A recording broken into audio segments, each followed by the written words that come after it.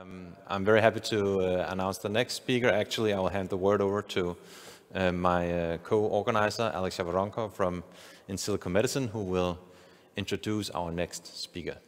Alex. Wait a minute, you're muted. Just one second. Go ahead, go ahead, go ahead. You're good. Thank you very much. Uh, great pleasure, uh, everybody, to uh, have you at Aging Pharma um, Uh, this year. So the seventh annual Aging uh, Research for Drug Discovery Conference. Uh, we are deeply honored to be joined by Dr. Kai-Fu Lee, uh, who is the chairman uh, and CEO of Sinovation Ventures. So he is dialing in from China today. Uh, and as you can see, it's um, you know China work ethic. it's 9 p.m. and uh, there is uh, lots of work, I'm pretty sure, on his side uh, today.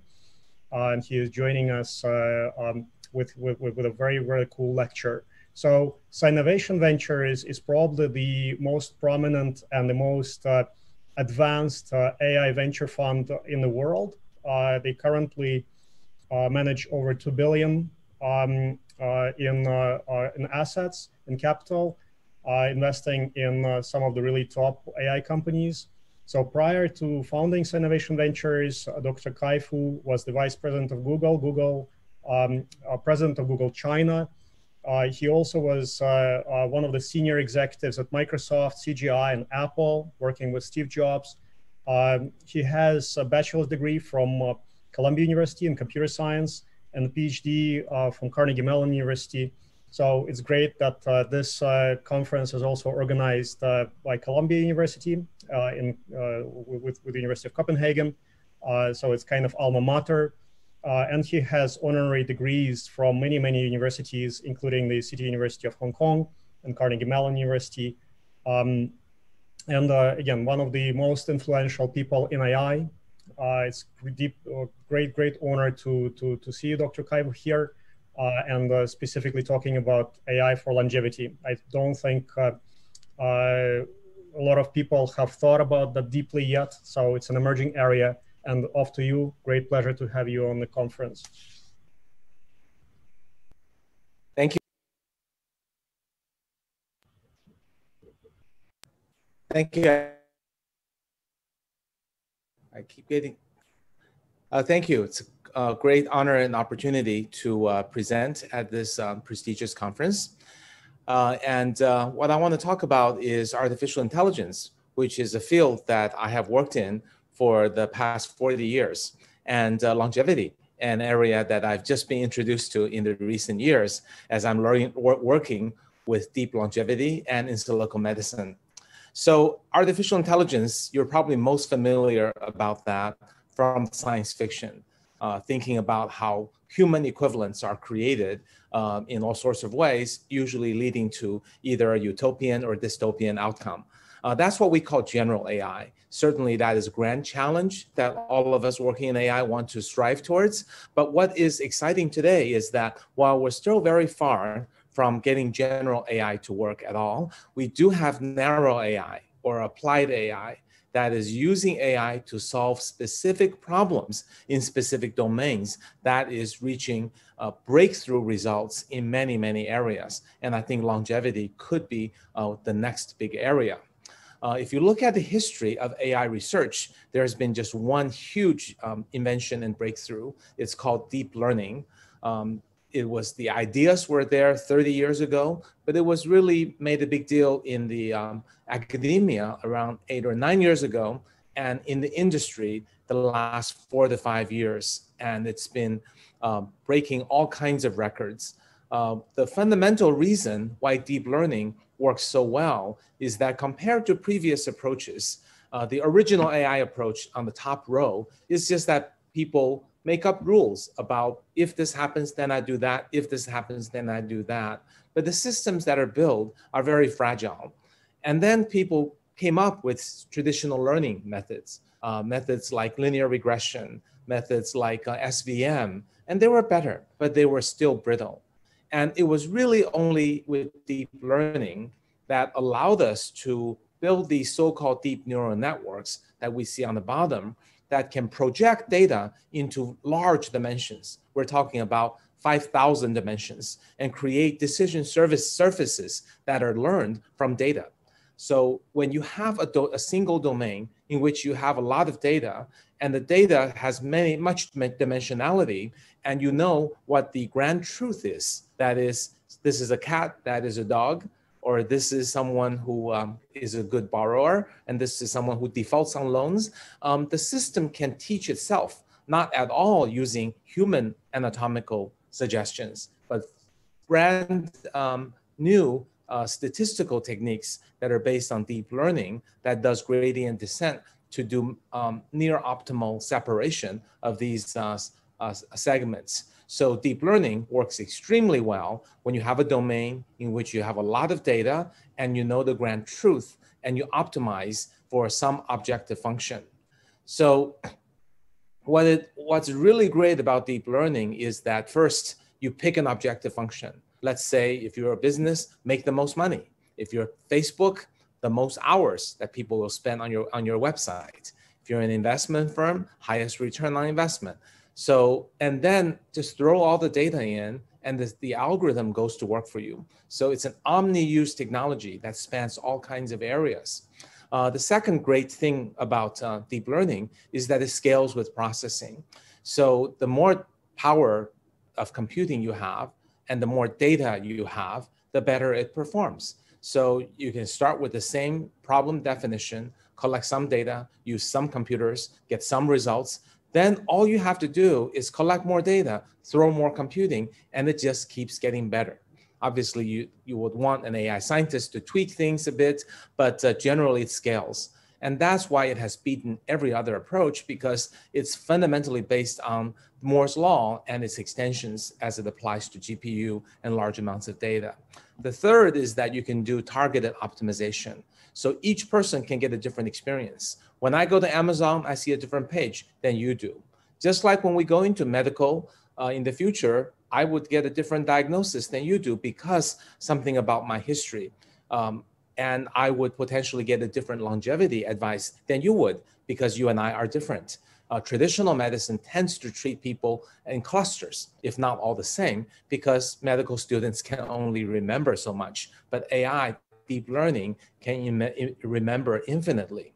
And then lastly, you can throw in all kinds of data uh, features. Uh, you can throw in people's age, uh, their photos, their medical imaging, their uh, temperature, uh, their disease, their family history, uh, everything, just throw it all in. And the system will decide what it will use that optimizes the objective function. You don't have to second guess deep learning and tell it, oh, I think for longevity is really important to measure NAD levels. Well, it will figure that out by itself. You just if you just throw in NAD levels as one of the uh, the key features. Um, so AI uh, has essentially uh, made a huge difference in all kinds of areas, from internet to business to perception to autonomous robots, autonomous vehicles. And underneath each wave, you see the kinds of industries that it is creating value or disrupting. So it is effectively hitting uh, 95% plus of all industries on Earth. And as Sinovation Ventures, we invest in AI. These are many, many of the areas we invest in. You'll see some AI medical examples on the bottom, but you can you can really see this is an omni-use technology that will disrupt everything in the world. And PwC and McKinsey estimates this will create about $15 trillion of incremental um, GDP in the next nine years. So we're really at the cusp of a breakthrough. AI powering everything. And of course, what more uh, thing and uh, than healthcare. I really see healthcare as a huge example. And in this picture, we can see that AI can be hitting every aspect of, of healthcare. Uh, we can start with um, uh, biomarker development, uh, going into uh, protein design, basically, and and and um, um, drug discovery, uh, going forward into precision medicine. Uh, particularly good fit for, for, precision medicine. You can imagine our DNA being fed in so that each person with a different DNA may get a different advice or treatment. So these are all the many, many ways in which AI can potentially disrupt and improve healthcare. However, I also recognize as we made some investments in healthcare, uh, AI in healthcare is exciting, is huge, but it's also very difficult because our lives and our health is at stake. And there are many traditional ways of doing things. So, so explaining to MD PhDs about why uh, AI in its own black box can do magic, and that could very well seem very scary to people who've sworn the Hippocrates oath uh, that a black box is treating people now? How do you explain yourself? So there are some natural difficulties of AI adoption in healthcare. I'm sure that will be overcome over time. Uh, certainly, as hum, it's a perfect area for human uh, AI symbiosis, where the human does the creativity, the analysis, the diagnosis, and AI starts being a tool assisting the human. But it will be a long path because what is at stake. So great upside, but challenges. However, I see longevity a little bit differently because longevity is a new area. Um, it is not an area that has condensed thousands of years of, um, of um, uh, history about how to, um, how to um, get better performance, right? In medicine, cancer treatment, treatment of heart disease, there are lots of history built up, and one would tend to follow that and some black box AI comes in and says, this is a great engineering trick that can teach, can teach you a better way to diagnose cancer uh, or uh, treat heart disease, people are likely to be skeptical and they want proof and they want explainability. So it's a bit challenging. And longevity being a new area, all of you, all of us are still learning about longevity, about how it might be treatable as a disease, about how it might be slowed, uh, how aging might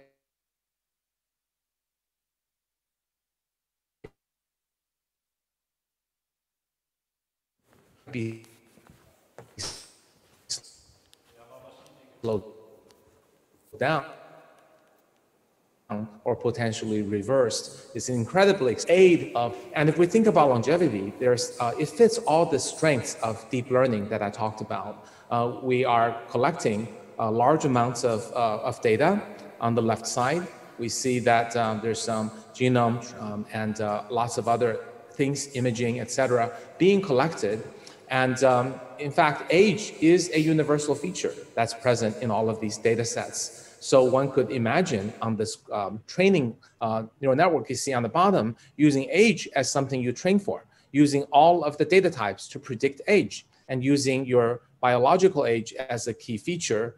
And with that, if you have longitudinal data, you can infer causality, uh, form new hypotheses, make progress on, um, on uh, uh, longevity research, and AI can identify a lot of features that relate to diseases or versus aging. So one could imagine that uh, this is kind of the graph that I think can use AI, use deep learning uh, to advance and improve and understand uh, how, how we age.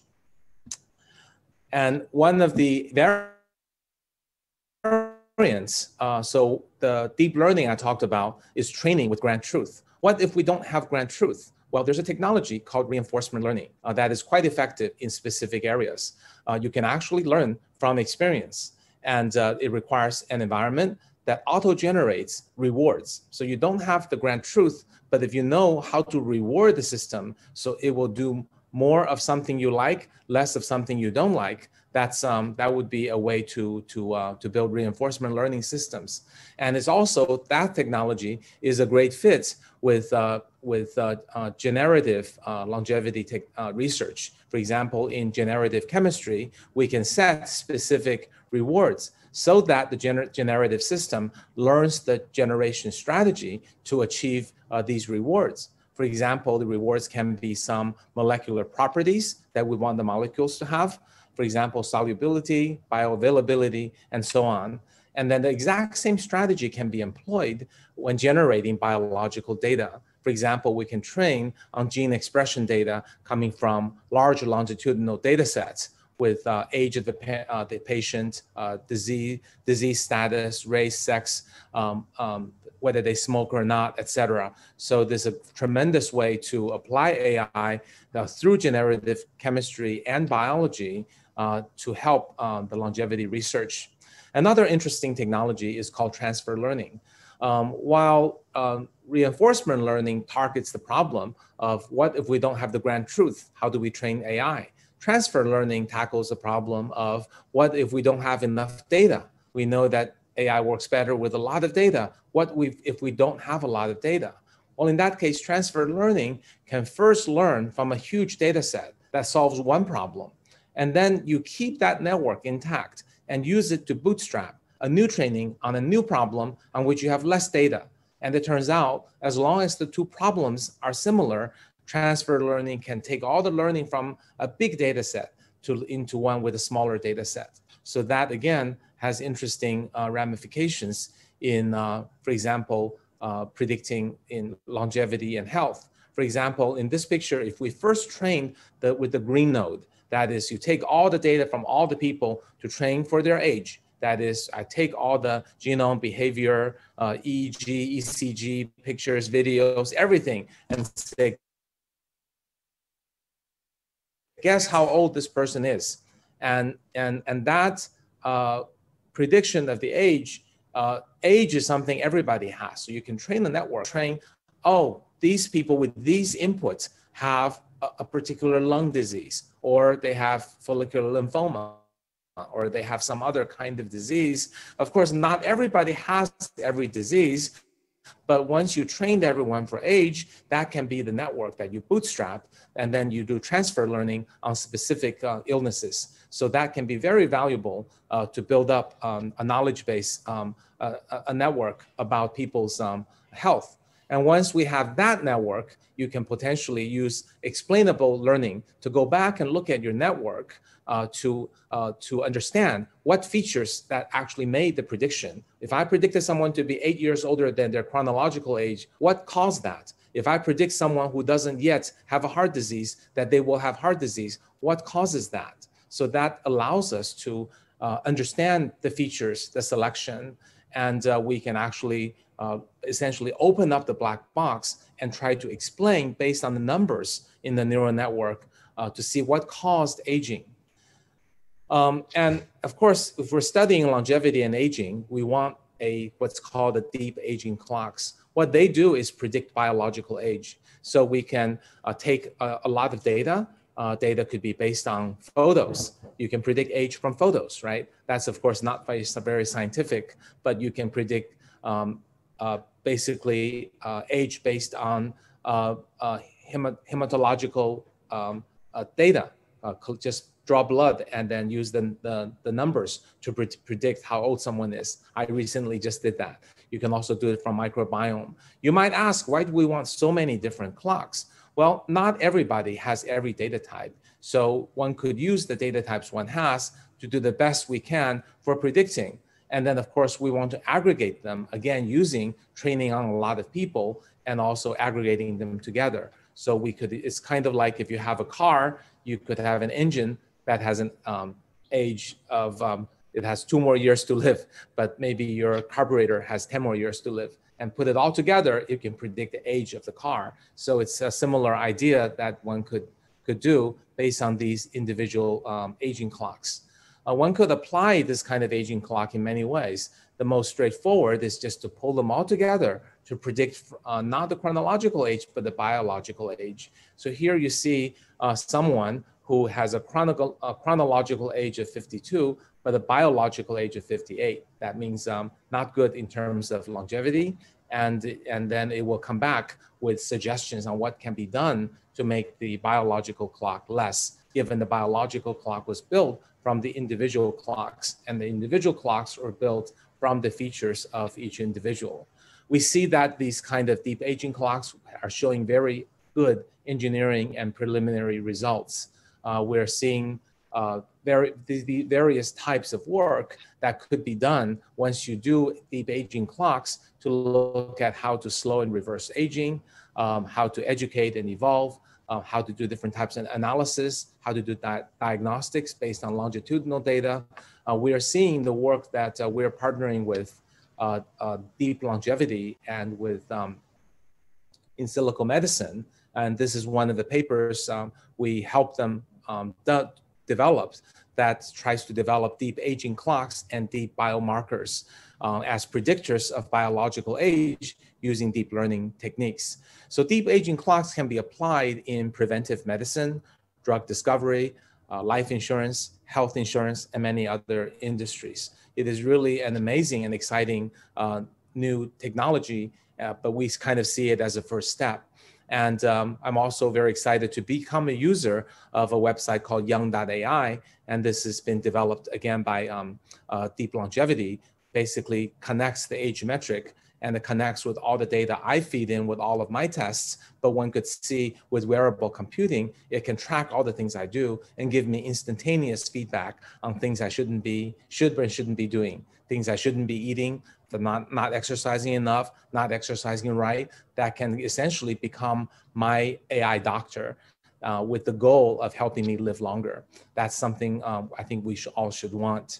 So in conclusion today, hopefully if I, have explained the excitement of AI making a huge difference to the world and looking at longevity as one of the most exciting applications because AI wants an objective function that is help us live longer. Um, and helping us live longer is a specific quantifiable numeric um, uh, goal that we all have as humans. So it connects our need as humans with the capability of AI and also without a lot of baggage because uh, frankly, longevity is a brand new.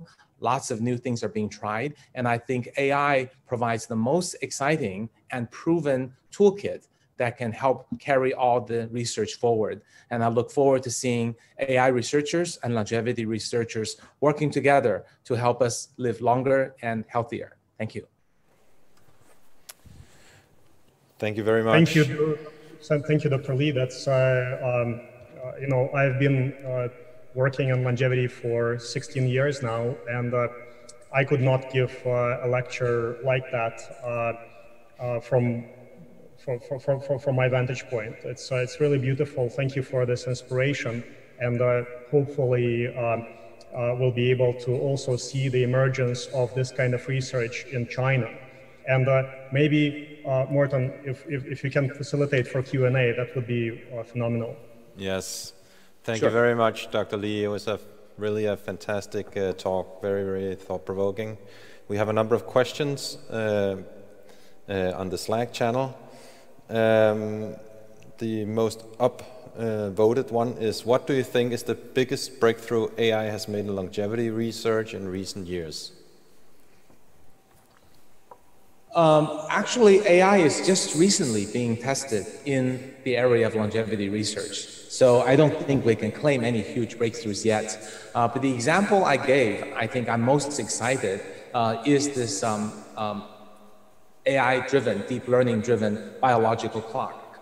Because AI is so good at optimizing for an objective function, and longevity is about extending our age. So if we can learn to do things and be taught by AI to do things so that it will keep predicting us at a younger age than we are and keep predicting that we will live longer than we think we will, that seems to connect uh, the very goal and the essence of longevity with the technology that's uh, possible in AI.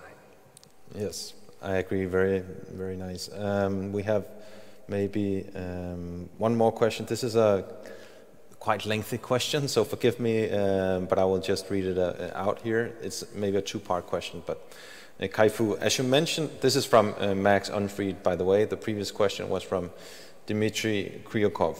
So Max Unfried ask, uh, asks uh, Kai-Fu, as you mentioned, AI, especially deep learning, is data hungry. How do you look at biomedical data acquisition? First, at privacy as it's personal data, and second, at the large monetary cost to get big enough data sets to analyze the complexity of genomic, proteomic, transcriptomics data over different genders and ethnicities? Uh, yes, uh, that's a great question. And it's a problem that we as an, um, a group of researchers have to, have to solve together. Because without the large amounts of data, AI will not function. So the, the first, I think, uh, there is clearly a privacy issue. So we need to go through fully anonymization of the data so that we can have data sets that cannot be uh, reverse engineered or pseudo, it's not, not pseudo anonymized, but fully anonymized. And I think countries should work together and health organizations work together to aggregate these databases to enable researchers everywhere to use them. I think that's the, the first thing. The other is uh, corporations will have to use the data too. And sometimes um, uh, large amounts of data needs to become available in, in ways that the corporation requires. So, uh, and, and also a lot of the data is collected on the fly. So in the app I just talked about, Young.ai is collecting my data right now. How do I anonymize it uh, on my phone? You can't. So I think there needs to be new technologies that allow us to have our cake and eat it too. So one technology called federated learning allows the uh, AI training to be run on my phone and then when I submit to Young.ai, I may not be submitting what I ate this morning or what I did last night, but rather the models that's trained that can be aggregated at Young.ai. It's not yet at that stage, but I think in the future, we want the training, the privacy data to be, to be only used uh, either at my, the device that I own or in the hospital or with the medical care provider to whom I've licensed the use of my data so that the data, my data, personal data, doesn't get all over the world. That sounds really exciting. Sincerely appreciate Kai Fu's uh, uh, contribution to our conference. Really, really appreciate it. Just FYI, Dr. Kai Fu has, uh, I think, uh, uh, 60 million followers on WeChat. So yeah, last time we did a, uh, an AI for drug discovery lecture together, it, had 10 million views in 48 hours. so that's very um, nice. Dr. Kaifu is a giant in his field. So yep. I, am really thankful and I really hope that uh, we see this lecture in China because that's, uh, that might change the course of history. Thank you, Morten, yes. for, for, for, for, Thank you, Alex.